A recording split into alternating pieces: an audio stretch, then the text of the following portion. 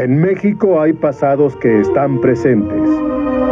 Madero vivo, a 80 años de su sacrificio. Una reflexión sobre la libertad, testimonios históricos y fotografías extraordinarias de la decena trágica en Madero vivo, de Enrique Krause. La mirada en la historia.